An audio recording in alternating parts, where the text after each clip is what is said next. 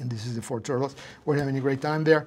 Uh, so one of the things that we uh, that we talked about with um, with the performers, with the actors, you know, we had a great relationship with them, is that in computer graphics, we're really good about giving you, you know, happy or sad or concerned or something like that. But it's a lot more interesting if you see somebody arrive at that emotion. So if you have somebody that is about to tell a joke, it's great to see that person and you can see the sparkle in their eye and then the mouth goes. Or when they're getting angry, especially with, uh, with Raph over here, with Alan. Uh, he, uh, we worked really, really hard on getting uh, adjustments and transitions. And so, for instance, you can see that the adjustment right there was translated directly into this, this performance. You know, right there. I'll just play this one. You can see how he changes right there. And that's what we were more interested because then when we put it into the animation, then this is what happens. Uh, so for instance, this would be the comparison. And you can see that it changes right there. Now, our system, the difference between our system and other systems that have been around for other summer movies is that we scientifically capture the performance and we scientifically put it onto the digital creature. But then in the middle, we edit the performance and we bring in animators that artistically change the performance so that instead of just being a performance that is completely mechanically correct, uh, we, we bring the artistry into, into, into the performance so that uh, we, can, um, we can tell the story of the specific shot. Um, let me just, This is, this is another example of, of the shot because of, of, uh, of performance capture because you can see that the more, the closer the actor is to the, uh, to the creature, the better the performance comes across. And because Mikey has a, just a, such a juicy part, right? I mean, he's he's all over the place, and he's so so funny. You can see, you know, the actor, you know, right there. The eyes, are droopy eyes. He has a specific way of smiling. You know, we change a little bit here and there, you know, specific things, but you can see also that the timing um, is right.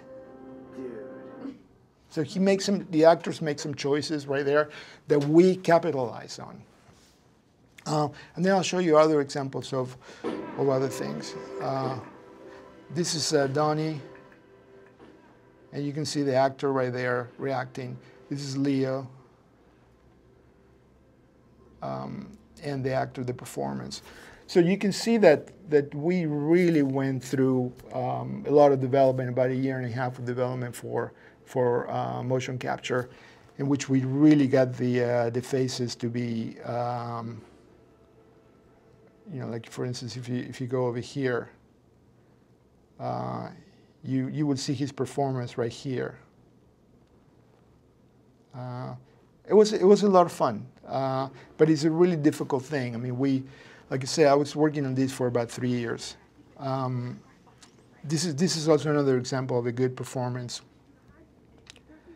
And what you see over here in the uh, in the top left is only the left camera and the distorted is a very wide lens. They're both really wide lenses so that you get to the to the edge of the uh, the eyes and the jaw, and you can see the performance is right. And then what you can see right here is a very quick render of the performance really grabbed right there and then put on a what we call a plastic render, so that it's not really realistic looking, but it's part of the animation. And this is the actual performance.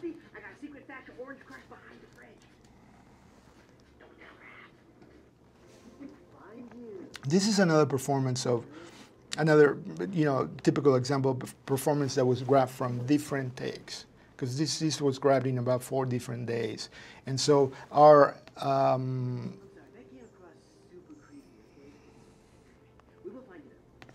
so um, so I think, oh, sorry, oops. Let me just go back there. I think one of the things that that, uh, one of the reasons why we had to go with this uh, with this kind of software is uh, we knew throughout the, the, you know the movie that it was going to be a, a melange of different dif different performances. So this this is a specific shot in which see this is the performance from the set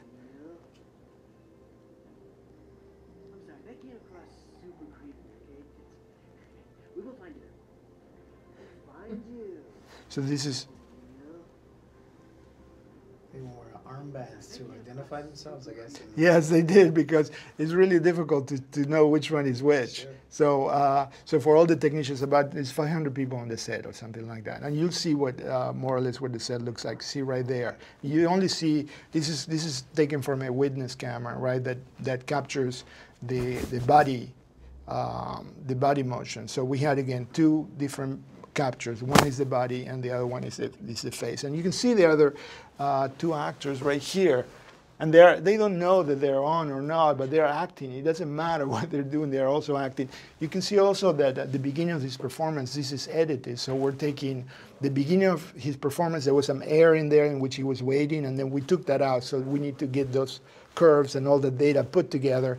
And then, um, okay, thanks. Um, here.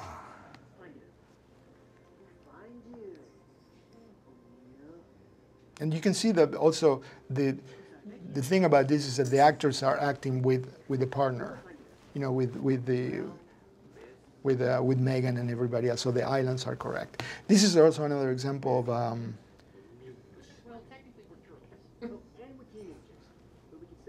a, a capture that we did um, on the set.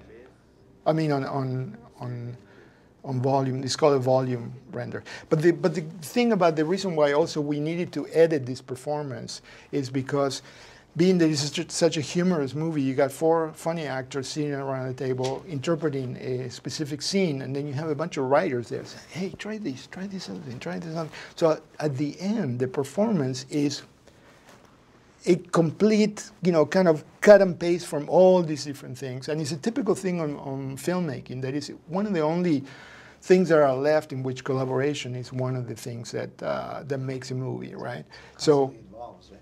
completely, yeah, that's what I'd say. I was I was in a Comic Con because we are working on all this, uh, so that'll give you a, a pretty good idea of. Uh, so this this also shot is a um, it's a kind of a pretty good example of something that just happened on the set. It wasn't on the on the script, but we we're just waiting for one of